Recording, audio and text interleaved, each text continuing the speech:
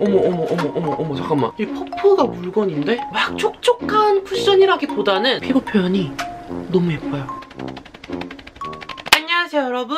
옹행옹행 진홍행입니다. 오늘도 쿠션 리뷰를 하려고 이렇게 생얼로 나타났는데 제가 지금까지 유튜브를 하면서 투쿨포스쿨에서 출시한 쿠션들을 다 리뷰한 사람이라서 리뷰한 사람이에요. 저좀 멋있죠. 어, 그래서 요거 세 개 비교한 것도 있는데 처음 시작부터 위에 카드 걸어놓을 테니까 투쿨포스쿨 전에 리뷰했던 거 총집합 해가지고 이렇게 세 가지 올려놨는데 기존에 투쿨이 추구하던 블랙 골드를 버리시고 굉장히 예쁘고 영롱영롱한 베이지 핑크 케이스로 투쿨포스쿨 아트클래스 스튜디오 등 따 뜨, 드땅뜨 픽싱 글로우 쿠션. 픽싱 커버 쿠션이랑 픽싱 글로우 쿠션 뭔가 여기 되게 쌍둥이 같은 느낌. 이 버전도 제가 진짜 잘 썼었어요. 쿠션 설명 먼저 해드릴게요. 투쿨포스쿨 픽싱 글로우 쿠션은요 리필 포함한 36,000원으로 출시되었고요. 케이스를 보시면 기존에 추구하던 블랙 골드를 버리시고 베이지 핑크핑크한 누디한 그런 케이스로 나왔습니다 컬러 같은 경우에는 기존 쿠션들과 동일하게 세 가지 컬러로 나왔고요 저는 가장 어두운 3호 베이지 컬러를 선택했습니다 전에 출시한 세 가지 쿠션들은 쿠션 퍼프가 동그랗고 블랙 퍼프였는데 이번에는 이렇게 굉장히 베이지 베이지 살구한 화이트 톤의 퍼프로 출시가 되었는데 기존 퍼프들과 다르게 굉장히 쫀득 보들보들해요. 그래서 뭔가 퍼프는 얼굴에 척척 붙는 느낌이 들 것 같아서 퍼프는 제 스타일이고요. 기존 투쿨 포스쿨 쿠션들과 비교를 해봤어요. 출시된 순서대로 글로우 커버 쿠션, 픽싱 커버 쿠션, 에클라 세팅 쿠션, 이번에 출시한 픽싱 글로우 쿠션 모두 동일한 3호 베이지 컬러고요. 컬러가 다 같은 베이지 컬러인데 오묘하게 다 달랐고요.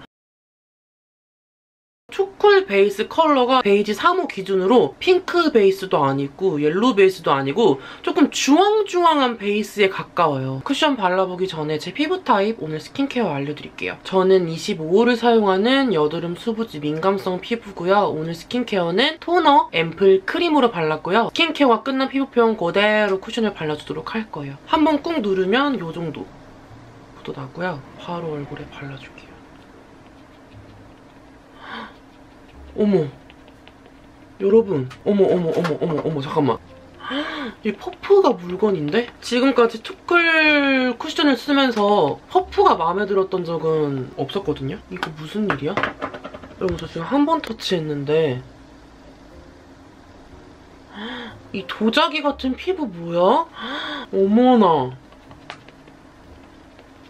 볼만 살짝 발라봤는데 쌩얼? 커버 안쪽.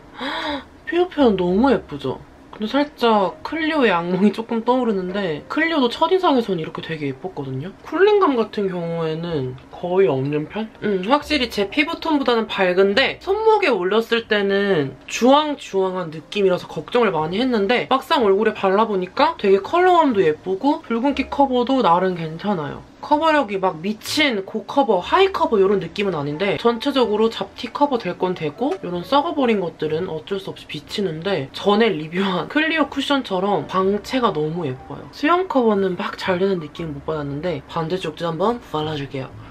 근데 얘가 향이 처음에는 굉장히 향기로운 꽃냄새가 나다가 침 냄새로 바뀌어버려요. 그 어반디케이 메이크업 픽서 향이랄까요? 그런 냄새가 나요. 향은 좀 미스다. 제가 그 향을 진짜 싫어하거든요. 뭐 물론 그 냄새를 좋아하시는 분들은 드물겠지만은 컬러는 어쩔 수 없이 밝다. 이렇게 얼굴에 전체적으로 발라봤는데요. 가까이 보여드리면 이런 느낌이에요.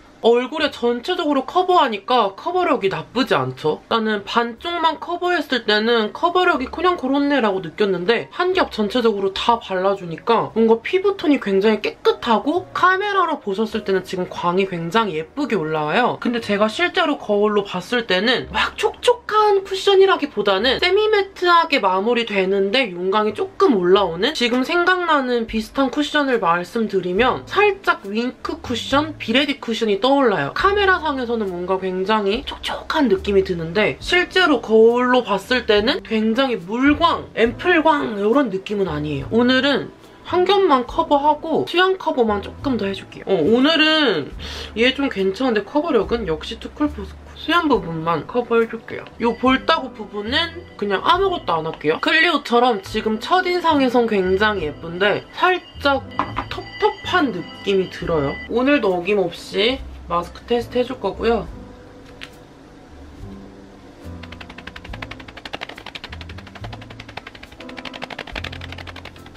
립은 굉장히 많이 묻었고 확실히 코 부분이랑 볼 부분 주변에 묻었어요. 마스크 하단부에는 별로 묻지 않았고 전체적으로 묻어남이 막 심한 느낌은 아닙니다. 얼굴 가까이 보여드리면 여기 지금 코 부분 찍혀 나갔고요. 볼 부분에도 조금 찍혀 나갔고 전체적으로 조금 찍혀 나간 게 보일 거예요.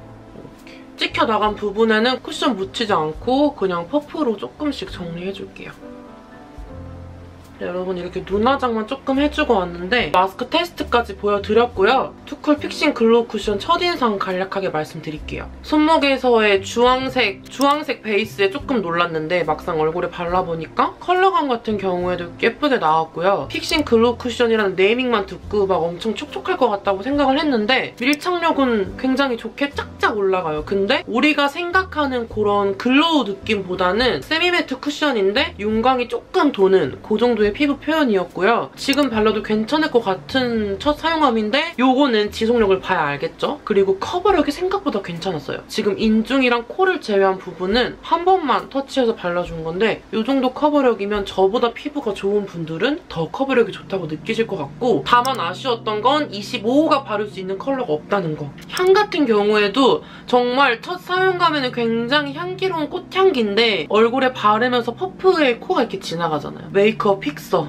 침 냄새가 나서 향에 너무 조금 그랬고요. 음, 첫인상은 괜찮았어요. 뭔가 시간이 지나면 조금 텁텁할 것 같고 속건조가 올 것 같은 그런 느낌. 지금 시간은 2시 19분이고요. 저는 대략 5시간, 6시간 후에 카메라 켜서 지속력 보여드릴게요. 그러면 이따 만나요. 지금 시간은 7시 11분이고요. 픽싱 글로우 쿠션을 바른 지 5시간이 지났고 5시간이 지난 피부 상태 가까이 보여드릴게요.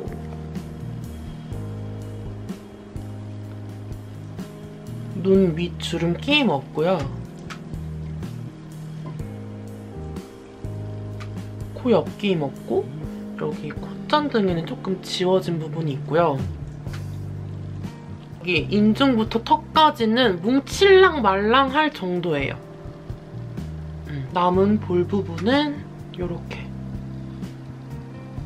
잘 살아있습니다. 제가 첫인상에서 생각보다 촉촉한 쿠션은 아니다라고 말씀을 드렸잖아요. 제 피부에서 유분이 올라오면서 피부 표현이 조금 더 글로시하게 바뀌는데 처음에 발랐을 때 미친 광, 막 엄청 촉촉한 쿠션이 아니어서 광이 올라와도 더러워 보이는 광이 아니라 지금 피부 상태가 뭔가 촉촉한 쿠션을 쓴 것 같은 피부 표현의 느낌이라서 그리고 더 좋았던 거는 여기 인중이랑 턱 부분을 제외한 나머지 부분에는 어디 막 더럽게 무너진다거나 뭉 친다거나 모공에 끼인다거나 하는 거 없이 지금 전체적으로 여기만 빼고 여기 두 군데만 빼고 너무 예쁘게 잘 지속이 됐어요. 오늘도 약간 긴장을 했거든요. 전에 올렸던 그 클리오 자꾸 클리오 언급을 하게 되는데 클리오 쿠션 꼴이 날까봐 약간 두려웠어요. 틈틈이 막 거울 보고 이랬는데 생각보다 너무 괜찮더라고요. 그래서 조금 더 확대해가지고 제 얼굴에서 왼쪽만 한번 수정을 해줄게요. 정말 다행히도 어, 막 더럽게 무너지는 건 없어가지고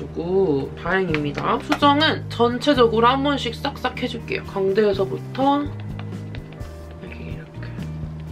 아, 근데 이 향은 진짜 맡기 싫다. 제 얼굴에서 왼쪽을 수정을 했는데 수정을 한 쪽이랑 안 한 쪽이랑 피부 차이, 컬러 차이가 그렇게 심하지 않죠? 다크닝 같은 경우에는 거의 없었고요. 속건조는 살짝 있었어요. 그래서 이거는 바르시는 분들마다 스킨케어를 조금 다르게 하시겠지만 개인적으로 수부지 분들이나 건성분들은 스킨케어를 조금 촘촘히 해주셔야 될 것 같고 수정 화장 했을 때이 더러워지려고 하는 게 막 펴지진 않아요. 그래서 수정 화장 하건 안 하건 이거 더러운 거는 조금 어쩔 수 없는데 나머지 코 옆이나 볼 부분은 깔끔하게 수정이 됐어요. 수정했을 때도 뭔가 딱 피부를 예쁘게 잡아주는 그런 드라마틱함이 있었으면 정말 좋았겠지만 좀 더러워지려고 하는 이두 부분을 수정을 해도 나아지는 게 없어서 이 쿠션은 수정용 쿠션보다는 아침에 호다닥 바르기 좋을 쿠션인 것 같고 그래도 수정했을 때 어디 두터워진다거나 밉게 올라가는 건 없었고요. 오늘 땀 엄청 흘리고 유분 폭발했는데도 이정 도 피부 상태면 저는 여러분들한테 추,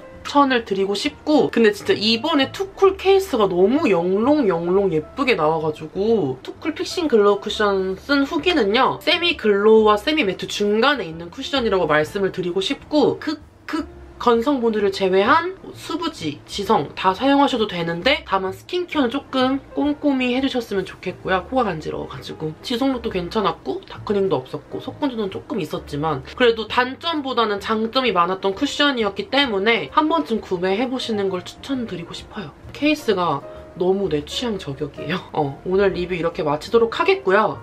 오늘 영상도 오늘 쿠션도 좋으셨다면 구독, 좋아요 꾹 눌러주시고 저는 다음 영상에서 인사드리도록 하겠습니다, 여러분. 그러면 안녕! 유튜브 구독해주시고 인스타그램 팔로우 해주시고 인스타그램은 더보기란에 있어요. 근데 진짜 여러분 지금도 막 땀이 흐르고 기름이 터지는데 피부 표현이 너무 예뻐요.